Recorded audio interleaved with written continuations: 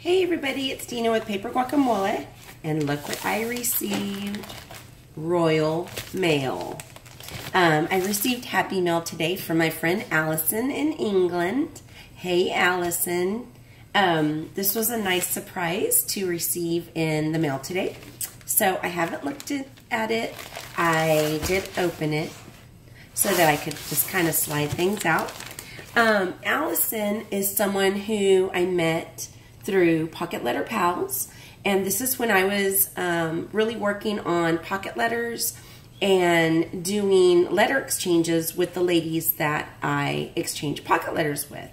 So we have kept in touch, even though I have kind of fallen off the wagon with my pocket letters. Um, I do love doing them. I just have kind of moved on to trying to put journals together and other paper crafts. But anyway, uh, let's see what she has. So she sent me, I just love getting letters. She sent me a three-page letter, which I will read later and respond to. And guys, you know, I really encourage letter writing and snail mail. Um, I know that we love to send people happy mail and goodies to craft with, but there is just really something cathartic about sitting down and choosing a pretty colored gel pen and stickers um, and writing a letter to someone. It's just a really, to me, it's a time capsule. It's just a really awesome way to kind of take a snapshot of what's going on in your life right at that moment. You know, there's something really exciting about preparing a letter and decorating the envelope and you know maybe if you're like me choosing some vintage stamps to use as postage and sending it off to someone um, there's just something really awesome and fun about it. Um, especially when we can just text someone or take a selfie or um, film a YouTube video to someone you know, and send it to them. I've done a kind of a video diary to a friend of mine in Virginia in the past, but my my love and what I love to do is send a letter and obviously to receive a letter. Receiving a package is just a bonus. So um, thank you, Alison, in advance. I know I'm going to love whatever's in here. I will read your letter. Um, and let me share with you what she what she sent me. So she is in the she's in England in um let me see here. She is in I don't know if it's a county or you per se, but it's Worcester. Um Worcestershire. That's what it is anyway, um, and she's just awesome. And you know, paper crafting is huge. I mean, I know it's huge in the US and in Canada.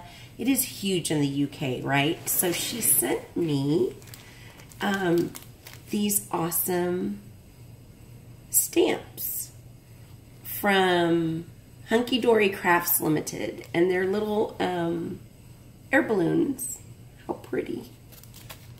Oh, and Actually, let me open it up because it looks like it's a whole pack of things. Let's see here. So I live in Corpus Christi, Texas, which is kind of, it's South Texas, um, where I'm not on the southernmost tip by any stretch of the imagination, um, but I do live on the coast. Uh, Alison loves the beach, um, so she sent me these Hunky Dory, oh, they're actually dies, metal dies, cutting dies of these um, air balloons and clouds. How adorable are those? Thank you so much. She also sent me, ooh, an embossing folder. And it is, uh, there's a lighthouse and there's the water and there's pebbles in the sand and some beautiful um, clouds, which I just noticed coordinate with the clouds in the um, die set.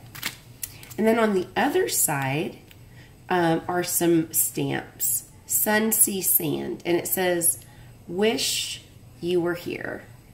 Wish you were here too, Alison. Thank you. I treasure your friendship so much, and it has just been awesome corresponding and sending letters um, after almost two years of, of, you know, meeting each other. So, you know, there's just a beautiful umbrella and a sand castle and shells. And just how fun is that? And I love that embossing die. that to the side.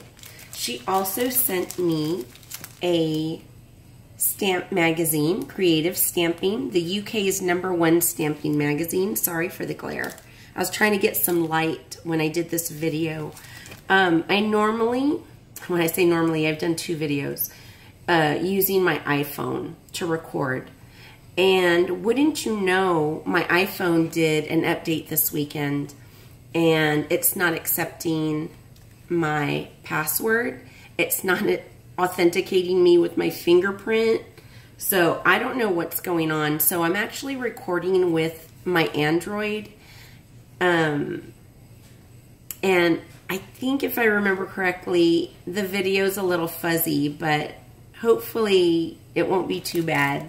And I'll be working on resetting my password for the iPhone and getting that up and running, which I did try working on. I'm not kidding, for almost three hours today. So I am not technologically savvy.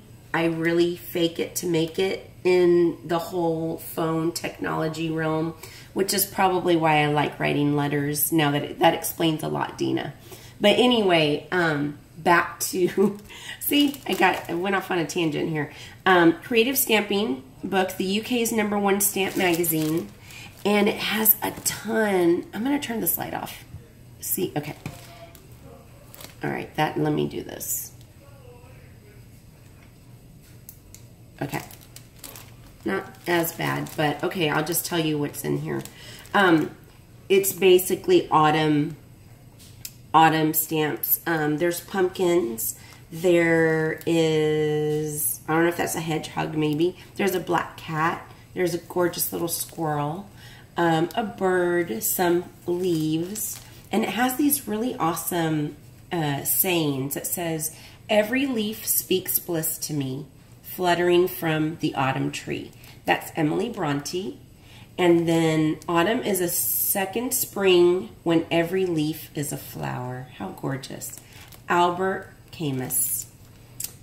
This is Let's Go Nuts and A Magical Day. Thank you. A spooky treat for you. How fun. Let's see. Let me open this.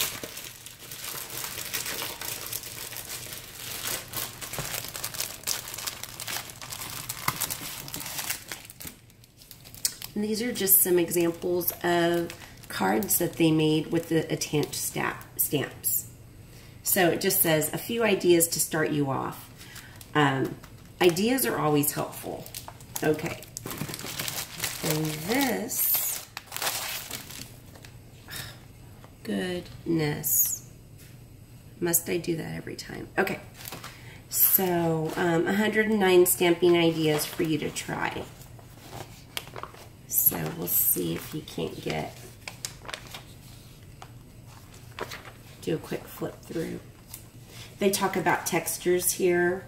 Um, you know, we do that with the multi, I feel like um, the journals, the junk journals that are made, I mean, they're, they're multimedia for sure. You know, we have fabric, we have paper, we have stamping, we have dyeing, we have embossing. Um, there's all kinds of ribbons and you know, metal pieces and charms. And I love kind of flipping through books like this to get ideas for pages and journals.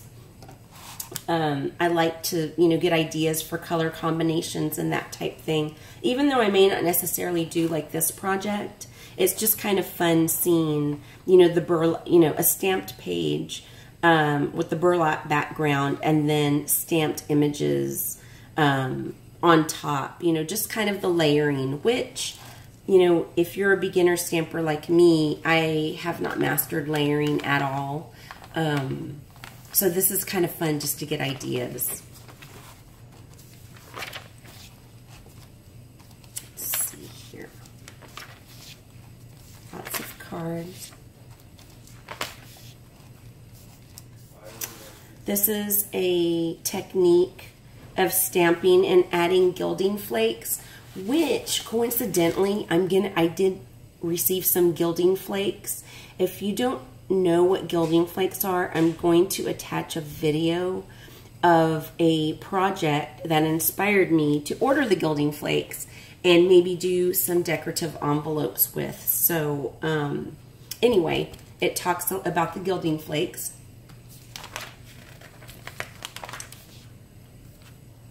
Let's see here.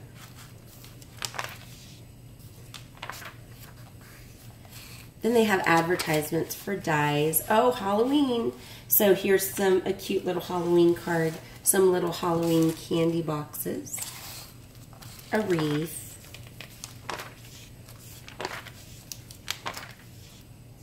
gosh, seeing all these autumn images, I mean, it really, it's, it's right around the corner. Now, in South Texas, we don't have four seasons. I mean, if you do, if you don't include like hot, hotter, hottest, and super hot, like that could be four seasons. But um, we, you know, we have a lot of oaks uh, where I live, oaks and mesquite trees, and the oak oak trees do go through the changing color of the leaves um, to some extent, but then they just kind of drop off. And mesquite trees, they don't really change leaves. We don't, I don't really have any other trees in my area that I could compare to, but um, just looking at the fall colors, it's really just reminds me that, you know, Halloween's coming and Thanksgiving and maybe it will cool off a little bit um, we've had winters here where it maybe gets down to, you know, in the 40s, maybe in the 30s for a couple of days. It'll usually be raining, so it'll be freezing rain. It'll be sleet. It does not snow here. Um, I've had Christmases where I've been in shorts and a tank top because it's 89 degrees outside, you know, 90 degrees. So we definitely don't have traditional weather here in the sense of four seasons. And it's going to be interesting to see kind of what the fall and the winter brings to us as far as weather here. But I still do like the autumn colors, even though, you know, we don't really get too much of that here. These are fun. They have like a ton of ideas for cards. Another thing um, I would do when I was working on pocket letters, and I think I'm going to make one and um, show you a pocket letter, or maybe I can show you some that I've received in the past. But basically, they are the plastic sleeves that people use for when they collect like maybe baseball cards and you have the plastic sleeves. They're like nine, you know, three rows of three. And you basically, they remind me of just making ATC cards. You make nine different ATC cards in a theme. Um, maybe I would be doing one, for example, as an autumn theme. And one of the pockets may have, you know, I'll stamp a squirrel and maybe put, you know, some bling or something. And then in the next one I would do um, a leaf or something, you know, and then you, you basically make do a layout of ATC cards on the front. And then on the back part of this plastic um, pocket letter sleeve, you stick little goodies in there. So you could stick, you know, bling, lace, stickers, um, eight different things. Or you don't have, you know, a tea bag maybe. You'd put uh, some tea in there or a Ghirardelli chocolate square fits perfect in the back of a pocket letter. And then one of the squares would be your letter. And, you know, or you could do um, mail tag if you're not familiar with mail tag. You know, that might be something you could do with Happy Mail.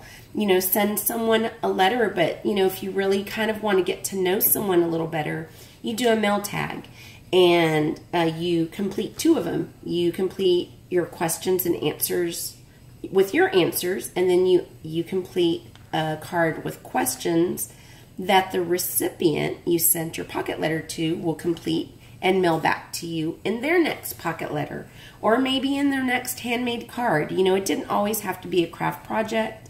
One of the things that from the get-go I connected with a lady in Virginia. Her name is Michelle. Super awesome lady, super creative lady.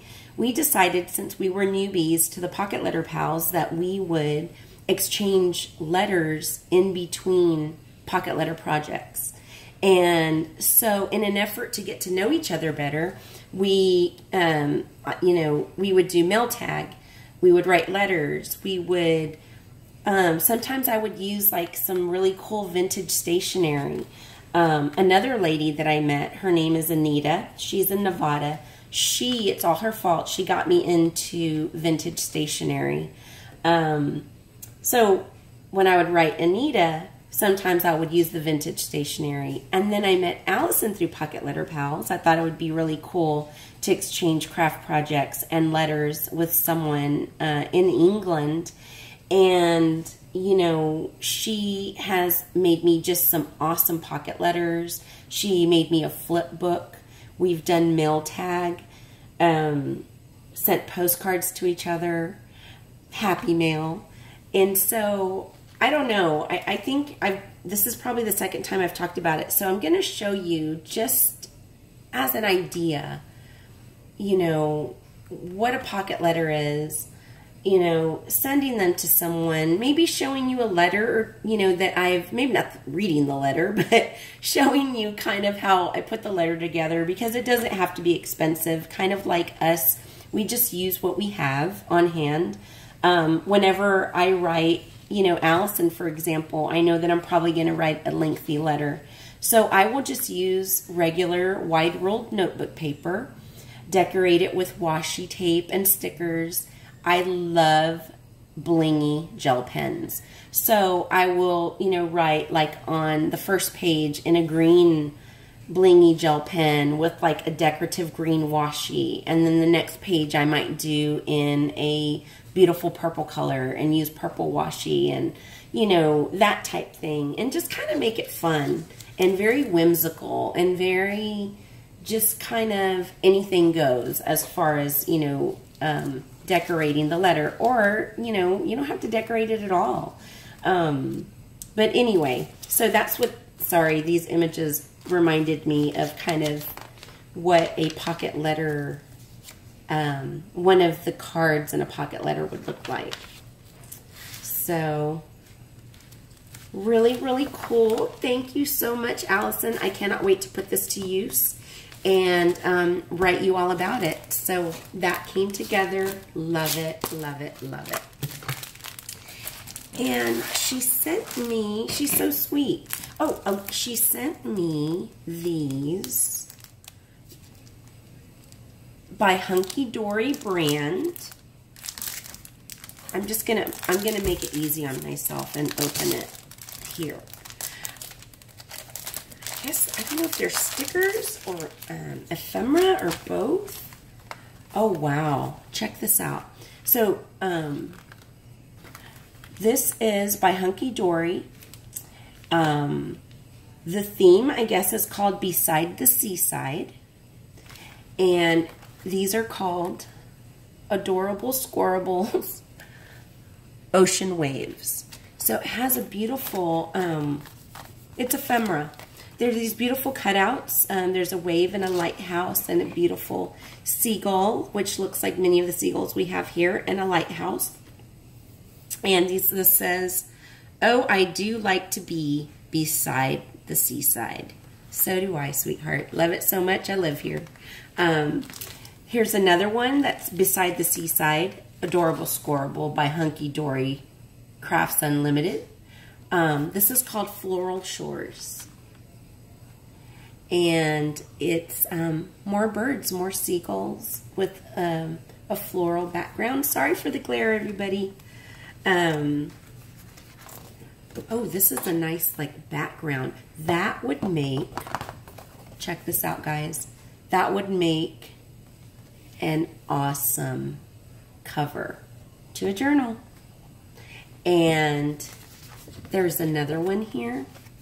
Um, and it's it's heavier than cardstock. It's almost like a card, light cardboard, if that makes sense. Because I guess cardstock in a way is a cardboard, but this is like a heavier um, weighted cardboard. And it has a beautiful little whale here in the corner. This is a, a like a shimmery polka dot paper. Got you have some clouds. You have another paper with a seagull.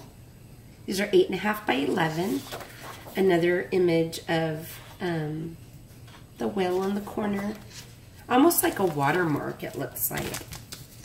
It's because it's so light. Um, I don't know if you can see this. This is a bird. I have another bird here. Oh, this is gorgeous. This is a heavier, like a cardstock with a seagull in the corner. Sorry, my um, Project One Runway sewing machine is in the way. Here's another beautiful, like a cardboard piece for a journal cover. Look at that. Love it. Love that color. It's like a beautiful sandy beige. Love it. Oh, this is neat. This is a lighthouse in the corner. And here, it's like a, a seaside depiction. There's like a little boat and a house and Love it, Alison. Oh my gosh. We don't have stuff like that, like this here. Um, at least not where I live. Here's another little image of a little village. And look how sweet. It's all coordinating.